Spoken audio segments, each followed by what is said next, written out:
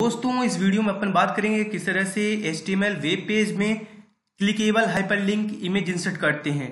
तो इसके लिए गाइज़ अपन को वो टैक्स दे देने हैं।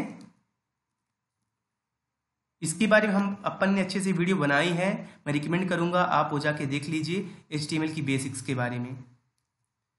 यहाँ पे अपन को इसका नाम और किस टाइप की फ़ाइल है वो भी ध्यान रखना होता है तो यहाँ पे अपन उसे पेस्ट कर देंगे। और नाम उसका डाउनलोड कर लेंगे, जो कि नाम है, और जेपीजी कर लेंगे, क्लोज कर देंगे। देन यहाँ पे गाइज़ आपको A H R E F करना है, जो कि लिंक देनी होती है। एंड जाएँगे उस साइट पे, जो कि आपको यहाँ पे रिडायरेक्ट करानी है। अपन इसे कॉपी कर लिया अपने चैनल का है। यहाँ पे जाके पेस्ट करेंगे डुअल कोड देंगे, और इसे भी क्लोज कर लेंगे। यहाँ पे टिक्स दे देंगे, जो भी देना हो। क्लिक हियर अपन ए क्लोज किए, और इसे अपन सेव कर लेंगे। डेस्कटॉप पे सेव करते हैं Abhishek dot H T M नाम दे देते हैं। एच टी एम और एच टी एम एल दो में से कोई आप दे सकते हैं। डेस्कटॉप पे अपन ने सेव किया। अब ये देखिएगा, ये अपना वेब पेज बन गया है। इसे ओपन करेंगे। तो यहाँ पे ये इमेज है, यहाँ पे कुछ भी क्लिक करें कुछ नहीं हो रहा। क्लिक हेयर पे करेंगे तो वो वाली साइट अपनी ओपन हो जाएगी, क्योंकि अपन ने अभी टेक्स्ट पे किया है इमेज पे नहीं किया है।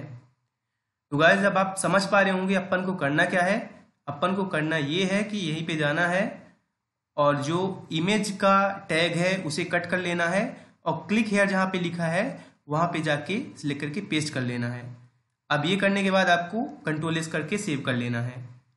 देन आप इसे ओपन करिए।